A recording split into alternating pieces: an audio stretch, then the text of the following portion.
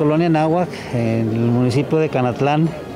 Desafortunadamente, eh, esa zona que es de aproximadamente 1.250.000 metros cuadrados, anteriormente era una laguna. Y ustedes saben que el agua tiene memoria y hay retornos en su momento. Hace 50 años era una laguna, se secó, la gente construyó y desafortunadamente ahora con todo lo que ha estado lloviendo, pues se volvió a presentar como tal, con un metro y medio aproximadamente de, nivel. Desde un inicio se dio la atención que se requería, tanto por la parte de Conagua, Secope, CAED, Protección Civil y el municipio. Se ha estado trabajando. En su momento la solución era tratar de desviar esa agua hacia el arroyo. Se hizo una zanja de aproximadamente 600 metros. Se metió una bomba de más de 12 pulgadas que fue facilitada por Conagua y pues es una gran cantidad de agua que no tiene salida, sigue lloviendo, va a seguir lloviendo.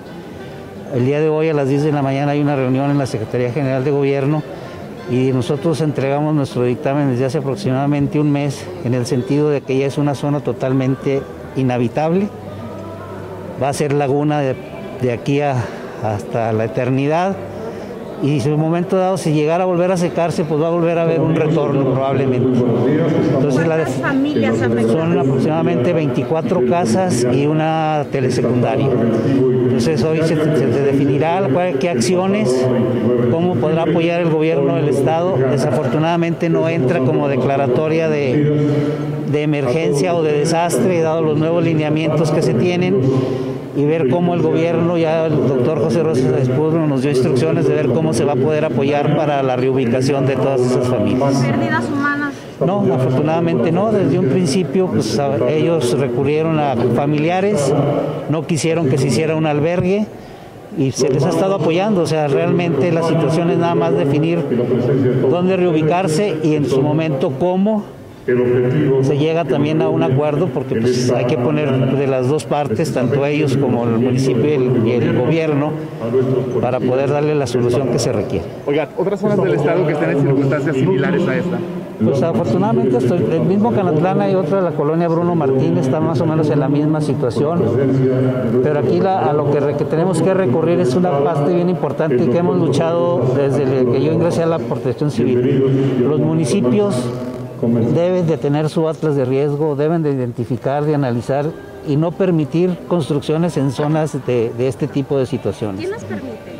Definitivamente, pues aquí no vamos a encontrar culpables, pero es una cuestión de un ordenamiento territorial. De hecho, nosotros ayer tuvimos una reunión con el área de planeación de ordenamiento territorial donde se están haciendo ya estudios importantes en algunos municipios para que pueda haber un reglamento de obra pública y un ordenamiento territorial de no permitir construcciones en zonas donde pudiera haber alguna situación de desastre o de emergencia. ¿Qué reporte se tiene de las huertas? Es un lugar que también recurrentemente se inunda. Pues ahorita no tenemos ningún reporte de ahí.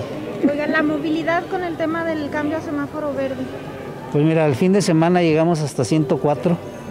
El día de ayer la movilidad fue de 7 pero recordemos que todavía hay que ver la reunión que debe de tener el Consejo Estatal de Seguridad y Salud para definir la situación de las medidas y los aforos. Aunque estemos en semáforo verde, seguimos en pandemia, seguimos teniendo casos positivos, seguimos teniendo defunciones en menor cantidad, pero aún se tienen y esto pues todavía no tiene límites. Tenemos que seguir haciendo las medidas preventivas que están hasta ahorita y mientras tanto pues los aforos no deben de ir al 100% en ningún lugar. ¿Pronóstico de una cuarta ola?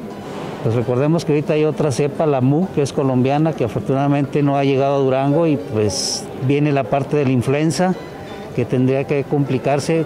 Esperamos 56 frentes fríos, varias tormentas invernales que va a tener una recurrencia en un momento dado de que pudiera llegar a incrementarse otra vez este fenómeno de la pandemia.